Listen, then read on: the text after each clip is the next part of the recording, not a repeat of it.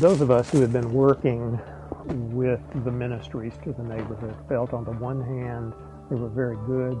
We had uh, established uh, lots of relationships with our neighbors, but we also felt after a time that there there must be more. Uh, what attracted me to asset-based community development? I would say Wendy McCaig. And she talked about the different models for ministry that some churches minister in a neighborhood. Uh, well, that was Northminster when I came here. Some churches minister to or for the neighborhood. Well, that's where Northminster had grown to. And in her model, ministering with the neighborhood uh, is authentic mission. First summer rec started uh, last summer, summer of 2012, um, and it actually started through Embrace Richmond.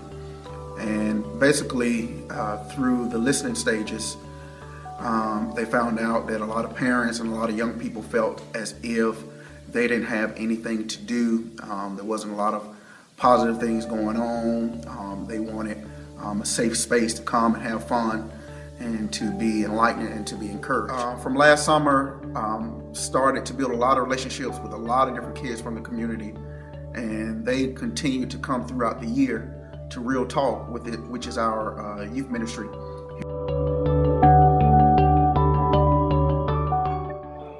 Being involved in the co-op has given me the opportunity to develop one-on-one relationships with people in the community, um, working with them in the co-op and in the meetings and planning. You get a much um, fuller appreciation for them learning about them and their families, and it's helped me understand the community better, not just sitting inside the church seeing people come in and receive help.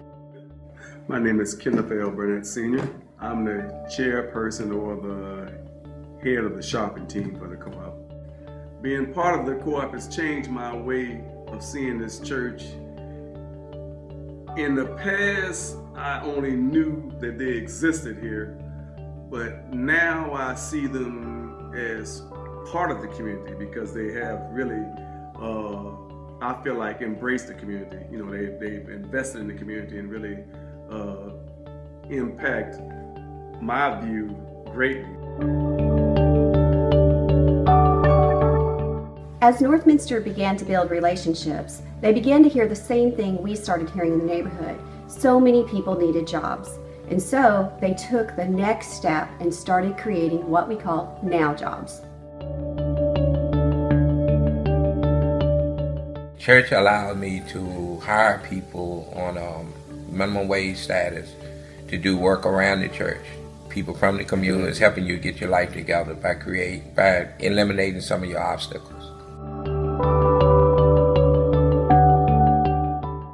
He was he was such a help. Uh, from that point on, I said, anybody that needs yard work done, anybody that needs any miscellaneous work done, I've got the person for you.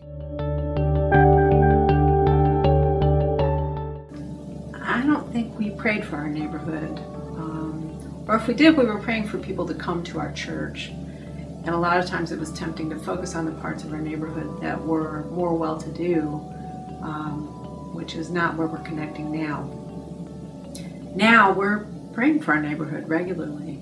Um, there are several people from the church who have come to prayer, weekly prayer time um, on a regular basis. And we walk the streets, and we walk the streets with our neighbors, uh, with people who are from that area, and pray together uh, for God's healing.